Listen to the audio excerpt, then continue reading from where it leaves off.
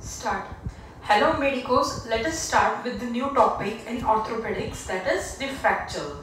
Okay, so first of all, if you are still new to my channel, please subscribe to my channel and hit that notification button so you get notified every time I post a new video.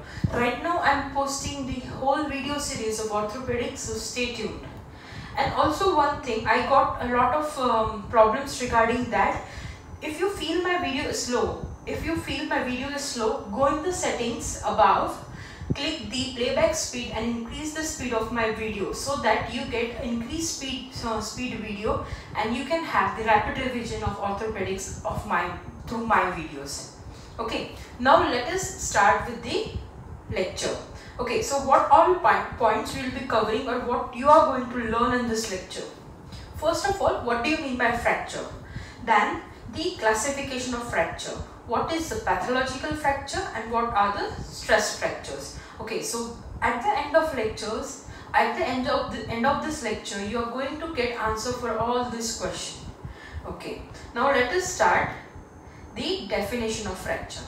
Definition of fracture is the break in the continuity of bone or the cortex is called as fracture. Let us write it down. It is the break in continuity of bone or the cortex of bone is called as fracture right? Now whenever you say fracture you need to diagnose it okay? So for diagnosing we have two criteria. First of all the clinical. How the patient presents to you. What are the clinical features of that patient and then is the radiological. Okay so we have two. First we have the clinical and then we have the radiological. In the radiological obviously uh, radiological um, diagnosis we are going to do the imaging. And the imaging we are going to know whether it's partial or complete fracture. Right in radiological imaging we are going to know whether it's partial or the complete fracture and in clinical presentation of fractures you get two it's like you can divide the clinical presentation into two subheadings. One is pathognomic um, clinical presentation and one is consistent clinical presentation of fracture. So first of all let us write the pathognomic. Okay. And in pathognomic there are two presentation. First is crepitus and then we have the abnormal movement. The first is crepitus and then we have the abnormal mobility. What do you mean by crepitus? Crepitus is a feeling or crepitus is the rubbing of two fractured end against each other. Okay, by this rubbing movement we get crepitus and the second one is abnormal mobility. The, the second class that is the consistent clinical presentation in that whenever you get fracture the there is always the fracture is always uh, associated with tenderness. Okay. So this then we have here tenderness. Okay. So in this way we are going to diagnose the fracture clinically pathologically. Okay, now let us move towards the classification of fractures. See, fractures are classified on different bases. So first of all, we will see what are the bases of classification and then we are going to discuss in detail. So first of all, the first basis for classification is etiology. Etiology, the cause of fracture. Okay, then we have the displacement. Displacement on the basis of two fracture end we are going to differentiate the classic uh, fractures. Then we have the external environment.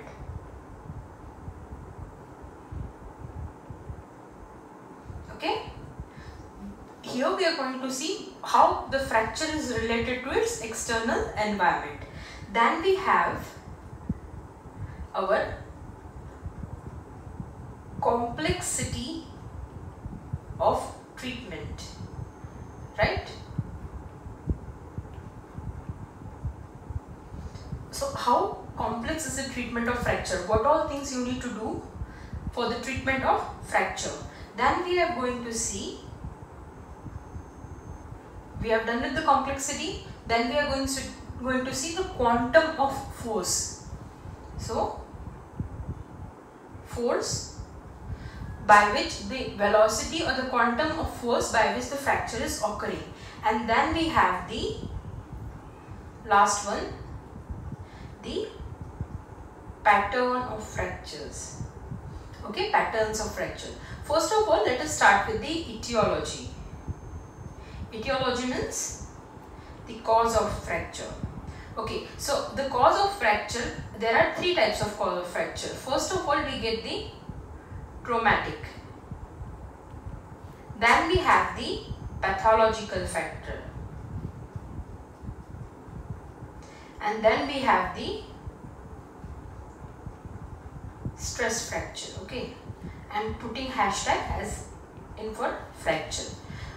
So what are all these type these three types of fracture? To understand this, I am going to put two heading. First of all the bone and the force. So let us write it down the bone and force over here.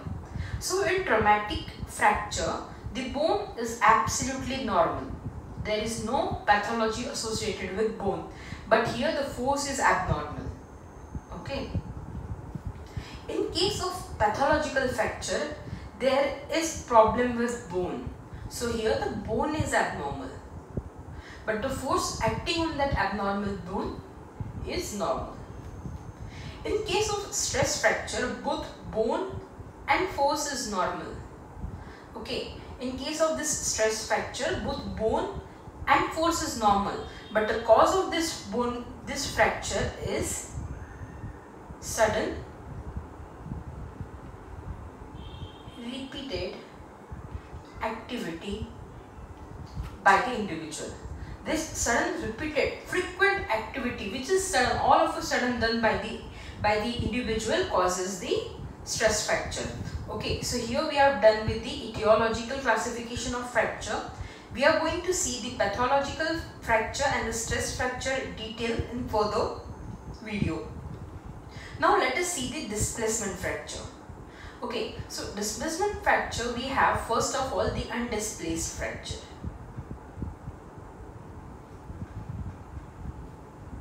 and then we have the displaced fracture. In undisplaced fracture, it is easily identified because the fracture is undisplaced. It can be easily identified because the the two fracture end are proximal. Like the pro there is proximity between those two fracture ends. Okay, so here there is proximity to to fractured end. But in case of displacement fracture, the, the two fractured end are displaced and the cause or the factor which of which caused displacement of these are first of all the force by which fracture occurred than the pull of muscles okay the force by which the fracture has occurred, the pull of muscle and the third one is the gravity. Okay, all this fracture affects whether how much how much is the displacement of fracture and whether it's undisplaced and displaced fracture. So we are going to uh, say the displacement of fracture in terms of shift, angulation and rotation. See here, these are the two fracture ends so these two fractures end are shifted. Okay. Then these are the angulation. And then we have the rotation type of fracture. See here. This bone is rotated. Then we have rotation Okay, this is the displacement basis for the classification of fracture. Then we are going to see the external environment. The relation of fracture with external environment. Okay, so the, um, we are going to differentiate. We have two types. The first one is the closed fracture. Here, the muscles and the skin over the fracture is intact. The fracture is not communicating with the external environment. That fracture is called as closed fracture. Then we have our open fracture. In open fracture, the fractured site or the fractured bone or the fractured injury is in communication with external environment and this causes the contamination of fracture. The open fracture is slow healing fracture. It does not heals quickly and the open fracture we can say we are we will differentiate that open fracture into internal open fracture and the external open fracture. So what is it? It's it's external open fracture and then we have our internal open fracture. In case of external open fracture, it is called caused because of the laceration of skin and muscle over the fracture and then hurting the bone. So we have here the laceration plus fracture of bone, right? But this internal fracture is caused because of pierce, piercing of skin and muscle by the fractured piece. Okay, the fractured piece pierces the skin and the muscle and then causes the open fractures. This type of fracture is internal open fracture. Okay, so here we are done with the with the external environment basis for the classification of factor fracture. Then we have the complexity of fracture. So the complexity of fracture, here we have two types. The first one is simple fracture. And then we have our complex fracture. The simple fracture in these two pieces are usually proximate, proxim, shows proximity to each other and simple immobilization will heal the fracture. The example is the transverse fracture of humerus. Here there is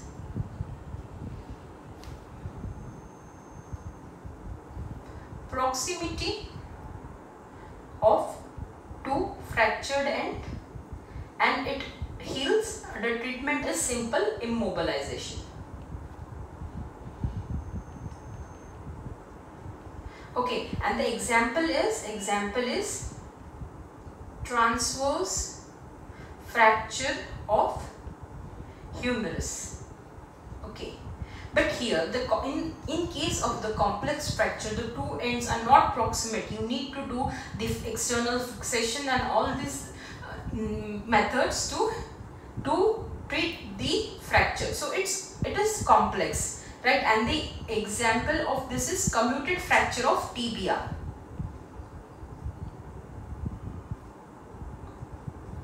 It's comminuted fracture of tibia. Okay. Now our next basis for the fracture classifying the fractures is the force, the quantum of force. The fo then here we have two things. The first one is low velocity fracture and then we have the high velocity fracture. The high velocity fractures are generally seen in the rough injuries or RTAs, the road, road traffic accident usually present with high velocity fracture. In this, the there is devascularization, there is intense devascularization and the fractures are open. It is contaminated. These this type of fracture which is because of high velocity we call it as high velocity fracture and the low velocity fracture is mainly because of the fall or any uh, rough play that will cause the low velocity fracture. The high velocity fracture heals, the healing is delayed but in low velocity fracture the healing is fast as compared to the high velocity fractures. Then we are going to see the patterns Okay, so in this image, we first of all have the first when we have the transverse fracture. The transverse fracture occurs when the force acting on bone is perpendicular to the bone. The force, see here we are going to write the force. Okay, so how force is acting. Here it is perpendicular to bone. Right? Now the linear fracture. The linear fractures occurs when um, when the fracture is parallel to the bone line. See, this is the bone line over here and this is the fracture. Here the fracture is parallel to the bone line and it is causing because outstretch of it is it is caused most commonly on humor, humerus and it is because of the outstretching of hand or putting entire weight or entire body's body weight while outstretching of hand okay so here the fracture is parallel parallel to bone line okay then we have oblique non-displaced and oblique displaced fracture the oblique fracture is caused when there is two force acting in addition the first force is the bone is forced to be steady vertical force and then a oblique force acts on bone. So the bone is steady. Here we are getting the vertical. I am pushing the bone like this. Here we are getting the vertical force and then we are getting the oblique force. This oblique force causes the oblique passing of fracture. See like this oblique fracture. Okay, so here there are two forces. The first is vertical and then we have the oblique. Then we have the spiral pattern. I drew the right line like spiral only. Wait a minute. Then we have the spiral pattern. In case of spiral pattern, multiple force in multiple direction is acting on bone. So we have multiple force okay in multiple direction. Right. It's basically twisting force acting on bone. Okay this twisting force causes the spiral fracture. Then here we have the green stick fracture. These green stick fractures are basically seen in soft bones. Okay it's seen in soft bone. And it is infant seen in infants because infants have soft bone. It's basically the soft bone which bends too much. And because of bending of this soft bone there is a breach over here. There is fracture over here and that is green stick fracture. Then here we have the commu comminuted fracture comminuted fracture. Here the there is more than two pieces of fracture. Okay so more than two pieces of fracture.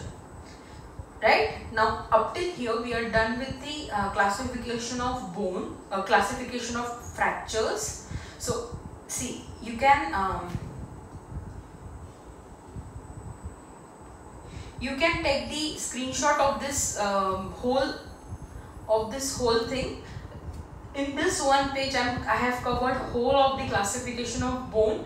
So uh, here we are done with the video of part 1 part 1 of the fracture.